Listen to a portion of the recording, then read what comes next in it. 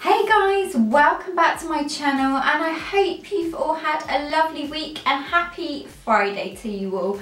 Today I've got for you my May favourites and for some reason I keep wanting to say my February favourites because the last six months have just flown by of 2015. Anyway, I've got lots of products to show you. Some are new and some are rediscoveries. All of these products, most of them that are makeup or nail related, will most probably be on my blog. So I'll pop all the links down below if you want to go and check them out. So let's get started. Let's start with some makeup. So the first thing I have for you is the Collection Lasting Perfection Concealer. Now I always hear Fleur, which is Fleur de Force here on YouTube, rave about this concealer. And I finally got round to trying it. I was using the Maybelline, the Eraser Eye, absolutely loved that. But I did want to review quite a few more drugstore concealers for my blog. And this one was absolutely amazing. I actually wore it um, to the wedding I went to last week and that was a really long day. And this just wore so well. It does say it's a 16 hour wear, up to 16 hour wear concealer.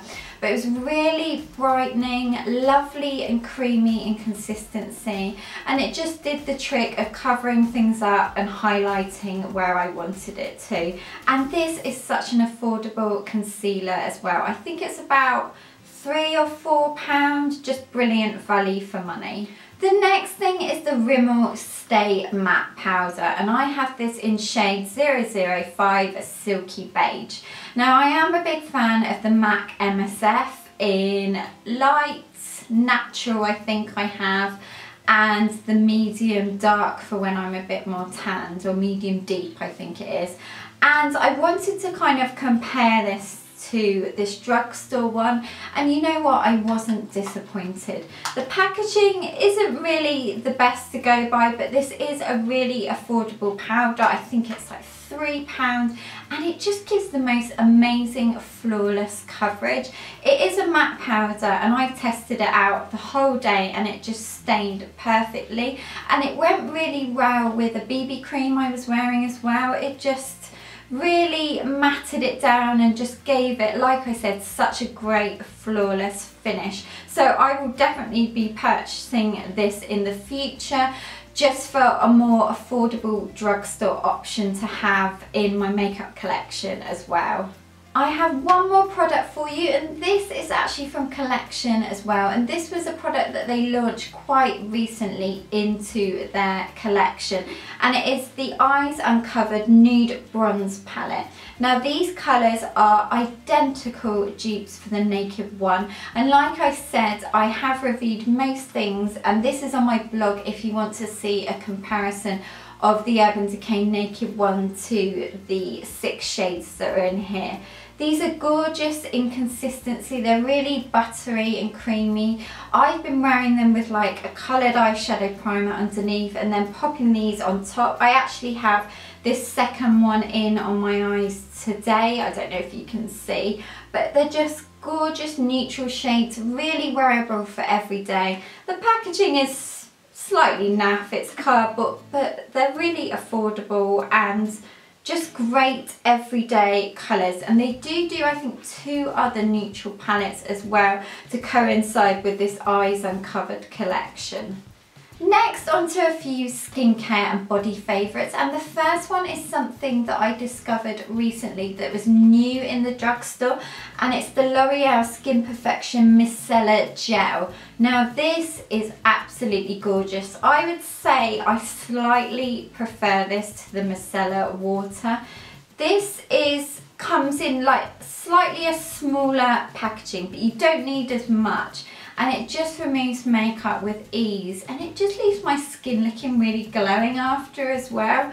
It's just a lovely formula and it is for sensitive eyes as well and it definitely doesn't irritate mine. I just pop it on a bit of cotton wool and it just disperses really easily and just gets rid of my makeup really quickly which is what you want of a night, you know, if you're tired or something like that and you just want to remove it really quickly.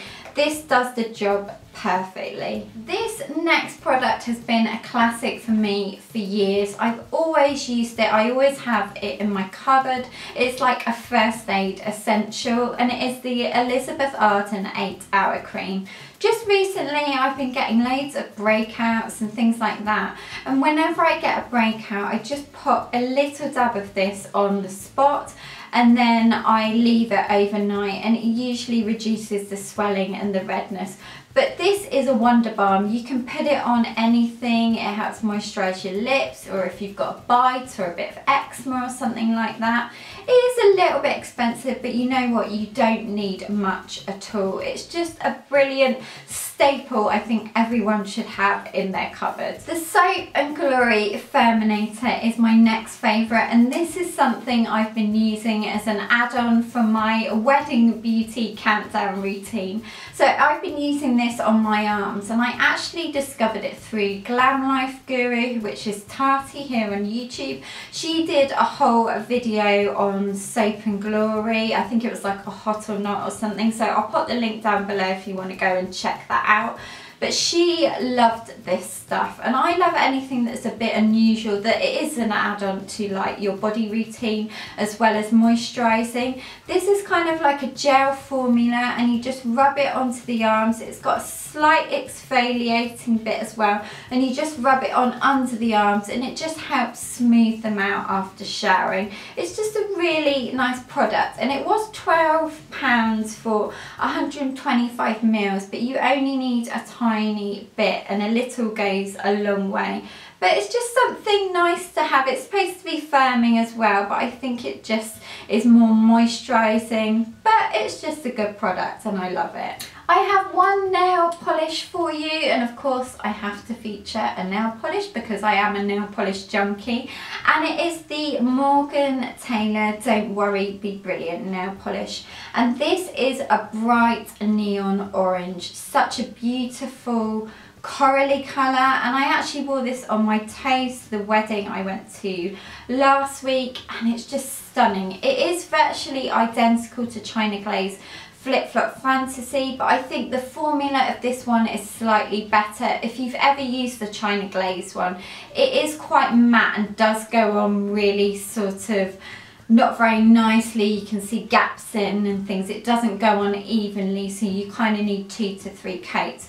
Whereas this is a little bit better in consistency. But I absolutely love this colour. I think this will be one of my staple neon corals for the summertime. This month I have a few accessories favourites for you. And the first one are these gorgeous colourful neon earrings from Accessorize. I just love the colour combination of them. They're just so pretty and they just caught my eye straight away.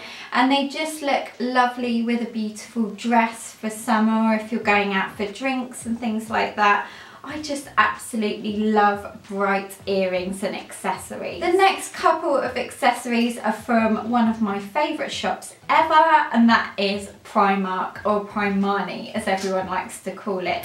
They just do some great stuff in there. They really have it spot on. Just everything they bring in is so fashion forward and affordable. And the first thing I have is this gorgeous little clutch bag from Primark and it's a mint green one and I have to admit it doesn't fit much in it. I only realised that when I tried to fit everything in it. But it is a fairly good size. I mean, if you're just taking your cards out and a lipstick and a phone, you can just about get that in. But it's just a gorgeous looking clutch and I like the fact that it has a strap as well, but you can also tuck that in.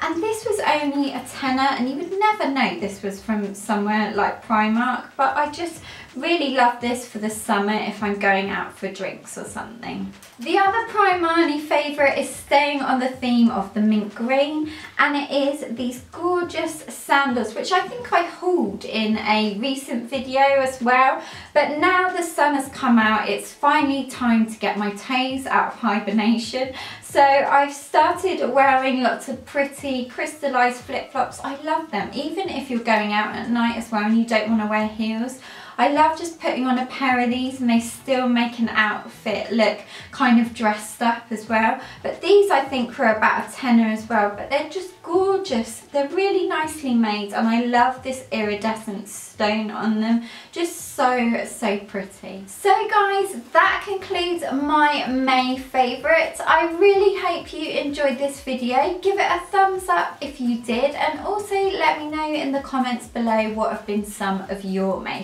favourites.